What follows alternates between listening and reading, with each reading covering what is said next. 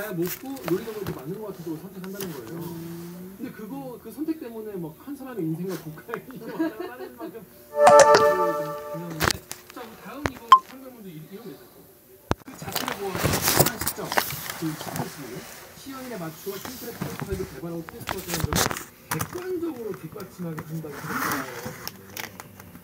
근데 앞뒤 흐름을 본 거예요. 쓴 거는 설명을 드리는데 그러니까 그 테스트 기간에는 1, 2주 정도만 로그를 했는데 왜 하필 이랬나 30분 동안 로그를 했는데 세 개 아이디를 보고 그런 그 패턴을 보고 비교해 봤을 때 이제 객관적이라는 표현을 쓰지 않았을까. 예를 들어서 그 드루킹의 주장에 따르면 그 강남에서 세 개의 아이디를 그냥 하나의 아이디를 또 try를 해봐요 이거를.